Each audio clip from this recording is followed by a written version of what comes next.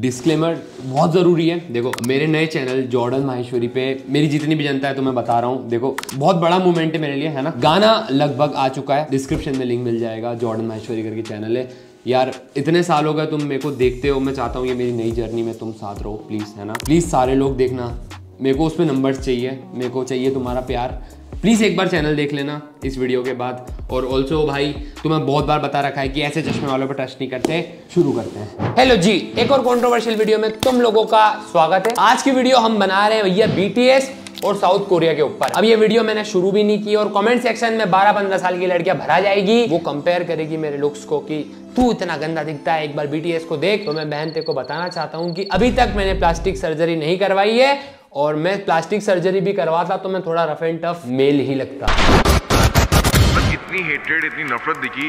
मतलब रोड पे बैनर लगा है कि इंडियंस और पाकिस्तानियों को अलाउ नहीं करते हम। किसी भी क्लब में किसी भी क्लब में हमें एंट्री नहीं मिली क्योंकि हम इंडियंस थे।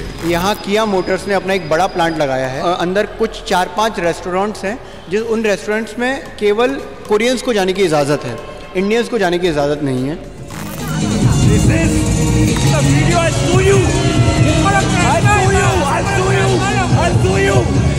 आज की वीडियो की सबसे बड़ी आयरनी है कि जो भी मेरे हेटर्स अभी बनने वाले हैं इस वीडियो को देख के, वो अपने स्कूल्स में इंडियन स्कूल्स के अंदर, कोई इन्हें काली बोल रहा है, कोई इनके खिलाफ रेसिस्ट कमेंट कर रहा है तो ये खुद के लिए स्टैंड नहीं ले पाते। लेकिन आज कमेंट सेक्शन में ये लोग मेरे को बुली करेंगे जस्ट बिकॉज़ कि मैंने इनके फेवरेट आर्टिस्ट की तरह खुद पे प्लास्टिक सर्जरी नहीं करवाई। बीटीएस जो है ना, लड़कों को थोड़ा सॉफ्ट रिप्रेजेंट करता है और लड़कियाँ फिर उनको स्टैंडर्ड मान ले। अब जॉर्डन भाई के गाने कौन सुनेगा? है? इससे बढ़िया तो एक कुरकुरे का पैकेट ही खा लेती क्योंकि प्लास्टिक अगर कंज्यूम करना ही है तो कम से कम दूसरों का नुकसान तो नहीं हो। बात तो सही है। हम लोग इंडिया में रहते हैं जो जाना जाता है अपनी रिच डाइवर्सिटी की वजह से और उससे भी ज़्यादा जाना जाता है यूनिटी इन डाइवर्सिटी की वजह से। हिस्टोरिकली हमारे इंडिया में ब्रिटिशर्स ने फ़ूड डालने की बहुत ही कोशिश की थी रूल करने के लिए। तो गरीब को अमीरों से भिड़ा दो एक कम्युनिटी को दूसरी कम्युनिटी से भिड़ा दो। लेकिन आज़ादी के इतने साल बाद भी तुम लोगों को जान के हैरानी होगी कि कुछ कंट्री और कुछ लोग हमें अछूत मतलब अनटचेबल मानते हैं हम इंडियंस को हम इंडियंस मरते दम तक एक आइडियोलॉजी में विश्वास रखते हैं, अतिथि देवो भव। मतलब वो मामा का लड़का जो बचपन में आता है, उसको हमसे ज़्यादा गर्म रोटी और खाना वाना मिलता है। तुम्हें पता है, घर आया मेहमान, हमारे लिए भगवान है, उसकी सेवा करना हम लोगों का कर्म। तो इससे तुमको एक इंसिडेंट याद होगा कि कोरियन ब्लॉगर हमारे इंडिया में आके लाइव स्ट्रीम ब्लॉगिंग कर रही थी। और उसी लाइव स्ट्रीम के बीच उसे एक इंडियन ने हरेस किया। ये इंसिडेंट खराब भी था और शॉकिंग भी था, लेकिन अच्छी बात यह कि हमारा पूरा देश ट्विटर पे सोशल मीडिया पे एक हुआ। उन लोगों ने उस लड़की को हेल्प की। इवन जब वो लाइव स्ट्रीम चल रही थी तो उस लड़की की हेल्प करने एक इंडियन लड़का गया। और इसके बाद ना कि social media in real life भी पुलिस ने, प्रशासन ने, जिस लड़के ने उन ब्लॉगर को हरेस किया था, उनके खिलाफ स्ट्रिक्ट एक्शन लिए। कहने का मतलब ये है कि जब हमारे देश में कोई बाहर की ब्लॉगर आई तो उनके सम्मान के लिए, उनके सपोर्ट के लिए हम सभी इंडियंस खड़े थे। और ट्विटर पे ट्रेंड के माध्यम से हम उन्हें बताना चाहते थे कि हम सभी इंडियंस वैसे नहीं है, वो एक दो हर कंट्री में होते ये तो केस था भैया इंडिया का, लेकिन तुम लोगों को ऐसा लगता होगा कि अगर साउथ कोरिया में किसी इंडियन के खिलाफ रेसिज्म हो रहा है तो शायद वहाँ की जनता है, वहाँ के जो लोग हैं, वो हम इंडियंस के लिए स्टैंड लेंगे। नहीं। इनफैक्ट पब्स और कई सारे बार के बाहर कोरिया में लिखा होता है कि इंडियंस आर नॉट अलाउड बहुत सारे इंडियन स्टूडेंट जो साउथ कोरिया में है, उन्होंने ये बताया है कि अगर किसी भी पब्लिक प्लेस में हम बैठे तो हमारे आसपास लोग नहीं आते, जैसे ट्रेन हो बस हो तो जहाँ पे एक इंडियन बैठा है, उसके आसपास लोग नहीं आते और जब उठता है तो उस सीट को पहले साफ़ किया जाता है, उसके बाद वहाँ पे साउथ कोरिया के लोग बैठते हैं। तो साउथ कोरिया में किसी इंडियन के साथ कोई बंदा स्टैंड ले, ये तो छोड़ो वहां के लोग हम इंडियन से सीधे मुंह बात भी नहीं करते I'm sitting in a bus or subway. In case I get on subway, I sit somewhere. Yeah. So person besides me will get up and sit, go sit somewhere. So Really? yeah, So, and it has yeah. happened to me so many times that now I'm used to it. Sometimes when people stare at me with curiosity, which is fine because they're just curious. Mm, curious. But sometimes I can see a stare with some kind of hatred.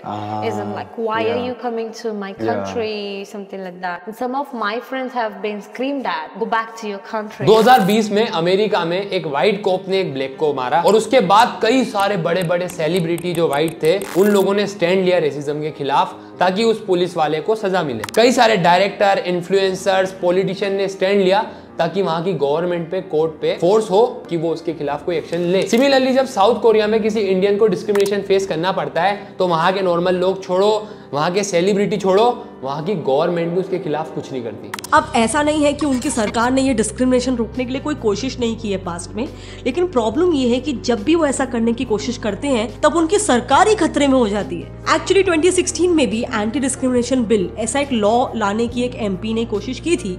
In fact ये bill तो उस वक्त उनकी legislative committee में पास भी हो चुका था। पर गवर्नमेंट को इसे खारिज करना ही पड़ा अंत में, क्योंकि कई बड़े बिज़नेस ट्रेड ग्रुप्स और कोरिया एम्प्लॉयज़ फेडरेशन ने इस बिल का कड़ा विरोध किया, जिसके बाद सरकार को इस बिल को लास्ट में खारिज करना ही पड़ा। अब देखो, कोई भी सरकार उनकी सुनेगी क्यों नहीं? आखिर पार्टी फंड तो इन्हीं कंपनी से ही आना है। इंडिया में भी कुछ ऐसे कोरियन रेस्टोरेंट है, जहाँ पे हम इंडियंस ही अलाउड नहीं है। वहाँ का जो स्टाफ है, काम करने वाले लोग है, वो भी सब नेपाल से आए हुए अगर आप इंडियन वहाँ पे चले गए, अपने देश में ही ना आपको वहाँ पे खाना खिलाया जाएगा ना अंदर बैठने दिया जाएगा। हमारा कॉन्स्टिट्यूशन हमें राइट देता है कि एज अ इंडियन आप इंडिया में किसी भी स्पेस पे एक्सेस कर सकते हो लेकिन हमारे ही देश में वो लोग रेस्टोरेंट खोल के हमें अलाउड नहीं करते आने के लिए। हमारे देश के कॉन्स्टिट्यूशन का खुले आम वायोलेशन चल रहा भैया और इसके खिलाफ कोई एक्शन भी नहीं लिया जा रहा।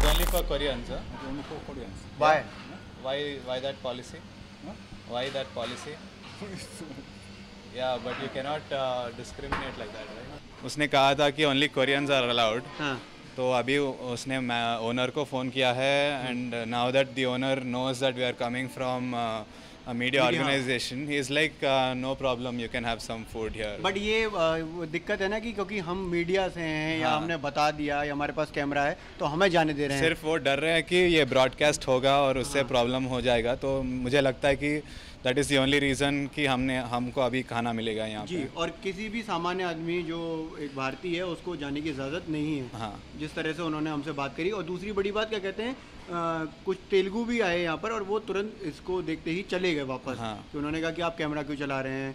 और वो ऊपर इस फ्लोर पे थे लेकिन इस फ्लोर पे उन्होंने खाना या किसी भी तरह की ऐसा कहा नहीं हमसे कि ऐसा होगा।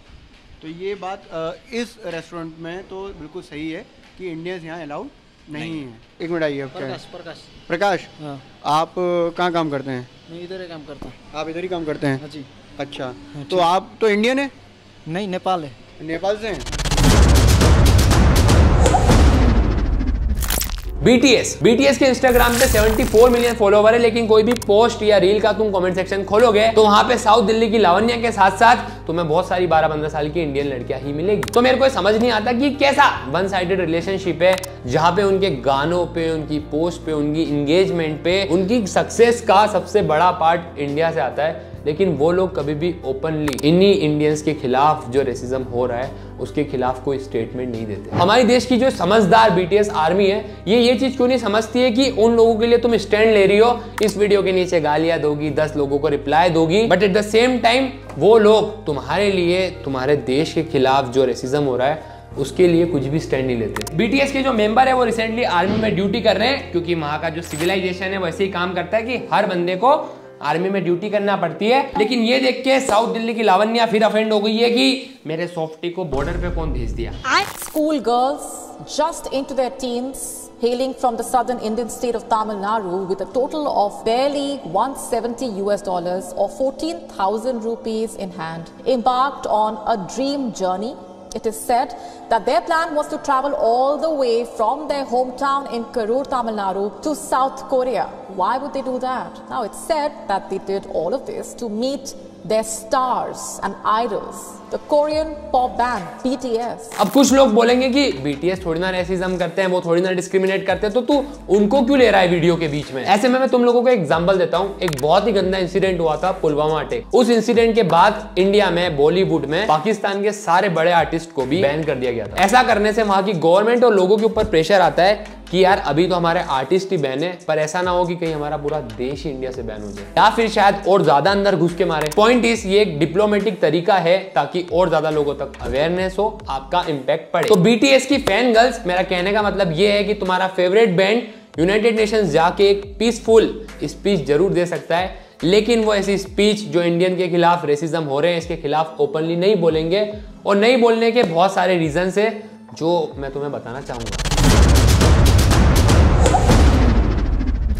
बात करते हैं साउथ कोरिया के कल्चर की, ताकि हम ये समझ पाए कि वो इंडियंस के प्रति इतनी नफरत या रेसिज्म क्यों लेके बैठे हैं। इंडिया में जब कोई बच्चा प्राइमरी स्कूल कंप्लीट करता है, अच्छे परसेंट बनाता है तो यहाँ पे माँ बाप उसे क्या दिलाएँगे भाई? साइकिल फ़ोन मोटरसाइकिल स्कूटी वहाँ के पेरेंट्स उनके बच्चों को ऑफ़र करते हैं प्लास्टिक सर्जरी उन लोगों के ब्यूटी स्टैंडर्ड्स नेचुरल नहीं है बारबी डोल की तरह। यहाँ पे तुम्हें हर दूसरी या तीसरी दुकान या तो किराने की मिलेगी कटिंग की मिल जाएगी, चाय की मिलेगी वहाँ पे तुम्हें ऐसे ही सड़क पे शॉप मिलेगी प्लास्टिक सर्जरी की। सर्जन वहाँ के माँ बाप जब उनके बच्चे अच्छे नंबर से पास होते हैं तो उनको शाबाशी बाद में देते हैं, पहले प्लास्टिक सर्जरी करवाने भेज देते हैं। ये जो बीटीएस आर्मी है, जो यहाँ पे दिन रात हकती रहती है, मैं तुम्हें एक चीज़ बताता हूँ। हमारे इंडिया में तुम लोग पढ़ते हो बुक्स खोलोगे यूपीएससी की तैयारी कर रहे हो जेई नीट तुम लोग अपनी प्रिपरेशन करोगे, फिर एग्ज़ाम दोगे, उसको निकाल दोगे जॉब मिलेगी, फिर तुम्हारे सपने है कि मैं फाइनेंशियली ग्रो करूँगा, अपनी फैमिली को संभालूँगा, है ना? तो कोई लड़की भी यहाँ पे सपने देखती है, पढ़ती है आईपीएस भी बन जाती है। लेकिन वहाँ पे किसी लड़की को जॉब मिलने के लिए उसके नॉलेज उसकी ग्रेजुएशन से ज़्यादा ज़रूरी है उसकी बॉडी और उसका फिगर कई सारी ऐसी कंपनी है जहाँ पे फिक्स है कि लड़की का बुक साइज़ भी इतना होना चाहिए, वरना रिजेक्टेड कहने का मतलब बस ये है कि जो खुद वहाँ की लड़कियों को ऑब्जेक्ट की तरह ट्रीट कर रहे हैं, वो क्यों रेसिज्म ना करें हम इंडियंस के खिलाफ। बीटीएस के लगभग सारे मेंबर्स फ्रिक्वेंटली प्लास्टिक सर्जरी करवाते हैं। और इसका मेन पर्पस होता है अच्छा दिखना ग्लोरीफाई करना वर्ल्ड वाइड एक बहुत ही कट्टर फेन बेस बनाना, जो कि उन लोगों ने किया भी है। पर इसका यूज़ करके वो करते हैं सॉफ्ट इन्फ्लुएंस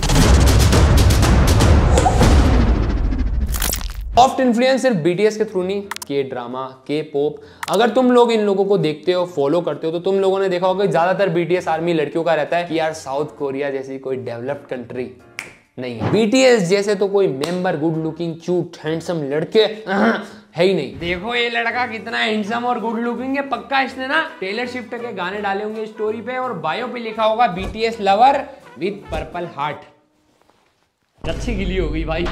इस चीज़ से तुम्हारे दिमाग में उनकी कंट्री उनके कल्चर के लिए अलग ही प्यार हो गया।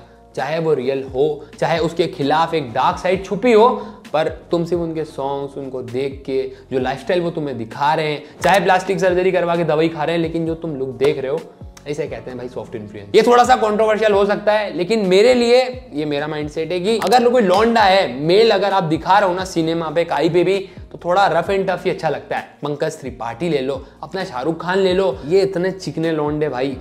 और ये मैं इसलिए बोल रहा हूँ क्योंकि जो बीटीएस आर्मी है, वो इनको कंपेयर कर देती है किसी बहुत बड़े टैलेंटेड एक्टर से सेलिब्रिटी से, वो इनके स्टेट्स को कंपेयर करते हैं कि देखो बीटीएस पे इतने व्यूज़ आते हैं, लेकिन तुम बॉलीवुड हैं। मैं एज अ इंडियन जब सिनेमा पे देखता हूँ ना, पंकज त्रिपाठी ऐसे लोग, जिनके अगर पिंपल्स हैं, या स्किन ऐसी है तो मेरे को लगता है कि नेचुरल है और ये एक्चुअली हीरो है। और वो अपने टैलेंट की वजह से आगे ना कि एक फेरी वर्ल्ड क्रिएट करके प्लास्टिक सर्जरी लगवा के सिर्फ़ गोरा या फिर चिकना लड़का दिखा के म्यूज़िक वीडियो हिट करवा के नहीं। लेकिन मेरे लिए Indian army navy air force hero है। मेरे लिए वो सारे शहीद जिन्होंने हमारे देश के लिए बलिदान दिया, वो लोग हीरो है। मर्द वो जो अपनी फैमिली पे, अपनी वाइफ पे, अपनी गर्लफ्रेंड्स पे किसी पे गंदी नज़र ना आने दे, जो अपने घर की रिस्पॉन्सिबिलिटी उठाए, जो कमाए, अपने घर वालों को सही से रखे, लड़कियों की इज़्ज़त करे लेकिन अभी इसकी जो डेफिनेशन है, वो काफ़ी चेंज हो चुकी है। और ये जो चेंज हो रहा है, इसका एक छोटा सा रीजन केपॉप इंडस्ट्री भी है। तो अब हम आते हैं इस वीडियो के कंक्लूजन पे।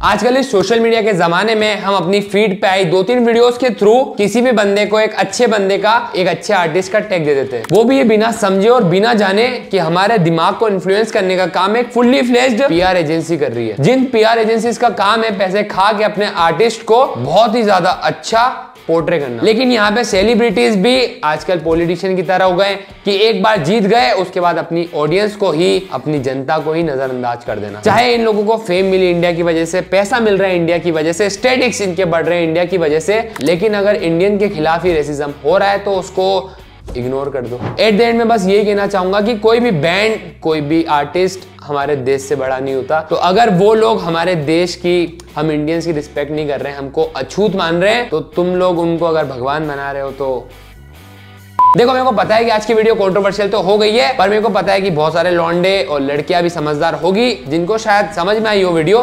तो तुम लोग लाइक और सब्सक्राइब ज़रूर करना। सात लाख के बहुत करीब हूँ अब, या तो मैं माइनस में जाऊँगा या प्लस में। तो देखते हैं कि कैसी जनता है हमारे पास। और सबसे ज़रूरी बात कि जॉर्डन और हीर जो मेरी म्यूज़िक एल्बम आ रही है, उसका पहला वीडियो आ चुका है। ये जो स्क्रीन पे आ रहा है, इस पे क्लिक करो या मेरा नया चैनल जॉर्डन माहेश्वरी उस पे जाओ सर्च करो, देखो। और अगर उस वीडियो पे जल्दी जल्दी व्यूज़ हुए तो मैं आगे और गाने डालूँगा। तो प्लीज़ जाके देखो सब्सक्राइब करो। वो एक नई जर्नी है यार, है? तो जितने भी लोग येलो आर्मी के हैं, जो मेरे को इतने साल से फॉलो कर रहे हैं, मेरे को नहीं पता इस वीडियो के बाद तुम्हारे ऊपर क्या इन्फ्लुएंस हुआ, तुम क्या सोच रहे हो मेरे बारे में, पर एक बार ये वाली वीडियो देखो। बाय